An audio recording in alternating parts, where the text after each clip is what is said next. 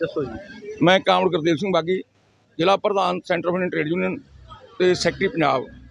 ਜਿੱਥੇ ਤੁਸੀਂ ਖੜੇ ਆ, ਇਹ ਹਿਸਟੋਰੀਕਲ ਸਥਾਨ ਆ।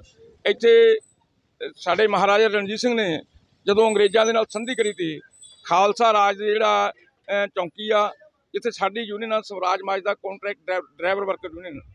ਇਸ ਯੂਨੀਅਨ ਵੱਲੋਂ ਜਿਵੇਂ ਪੰਜਾਬ ਦੀ ਰੀਤ ਆ, ਵੀ ਸ੍ਰੀ ਗੁਰੂ ਅਰਜਨ ਦੇਵ ਜੀ ਮਹਾਰਾਜ ਦੇ ਸ਼ਹੀਦੀ ਗੁਰਪੁਰਬ ਤੇ ਪੂਰਾ ਮਹੀਨਾ ਮਿੱਠੇ ਠੰਡੇ ਪਾਣੀ ਦੀਆਂ ਛਬੀਲਾ ਲਾਉਂਦੇ ਆ ਸੋ ਸਾਡੇ ਜਿਹੜੇ ਸਵਰਾਜ ਮਾਜ ਦਾ ਕੰਟਰੈਕਟ ਡਰਾਈਵਰ ਵਰਕਰ ਯੂਨੀਅਨ ਦੇ ਸਾਥੀ ਆ ਇਹਨਾਂ ਨੇ ਆਪਣੀ ਜੇਬ ਚੋਂ ਦਸਾਂ ਨੌਹਾਂ ਦੀ ਕਿਰਤ ਦੇ ਵਿੱਚੋਂ ਤਿਲ ਫੁੱਲ ਇਕੱਠਾ ਕਰਕੇ ਅਜੇ ਠੰਡੇ ਮਿੱਠੇ ਜਲਦੀ ਛਬੀਲ ਲਾਈ ਹੋਈ ਆ।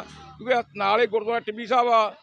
ਇਸ ਕਰਕੇ ਸੰਗਰਾਮ ਦਾ ਦਿਹਾੜਾ ਸੰਗਤ ਜਿਹੜੀ ਆ, ਉਹ ਬਹੁਤ ਆਉਂਦੀ ਆ ਤੇ ਸਾਨੂੰ ਖੁਸ਼ੀ ਆ ਵੀ ਸਾਡੇ ਜਿਹੜੇ ਨੌਜਵਾਨ ਆ, ਇੱਥੇ ਆਪਣੇ ਹੱਕਾਂ ਪ੍ਰਤੀ ਆਪਣੇ ਹਿੱਤਾਂ ਦੇ ਲਈ ਲੜਦੇ ਆ ਉੱਥੇ ਸਮਾਜ ਸੇਵਾ ਦਾ ਜਜ਼ਬਾ ਵੀ ਇਹਨਾਂ 'ਚ ਹੈ। ਸਾਨੂੰ ਇਸ ਗੱਲ ਦੀ ਬੜੀ ਖੁਸ਼ੀ ਆ ਸਵਰਾਜ ਬਾਜਾ ਜਿਹੜੇ ਕਨੈਕਟਰ ਵਰਕਰਾਂ ਵੱਲੋਂ ਅੱਜ ਛਬੀਲ ਲਗਾਈ ਗਈ ਹੈ ਉਹਦੇ ਬਾਰੇ ਦੱਸੋ ਸਰ ਜਿਵੇਂ ਕਿ ਤੁਹਾਨੂੰ ਪਤਾ ਹੀ ਹੈ ਸਾਡੇ ਇਤਿਹਾਸ ਬਾਰੇ ਇੱਥੇ ਗੁਰੂ ਤੇਗ ਬਹਾਦਰ ਜੀ ਜਿਵੇਂ ਇਹ ਪੂਰਾ ਮਹੀਨਾ ਚੱਲਦਾ ਨੇ ਜੇਠ ਦਾ ਇਸ ਮਹੀਨੇ 'ਚ ਇੱਥੇ ਪੰਜਾਬ ਵਿੱਚ ਹਰ ਵਕਤ ਛਬੀਲਾਂ ਲੱਗਦੀਆਂ ਨੇ।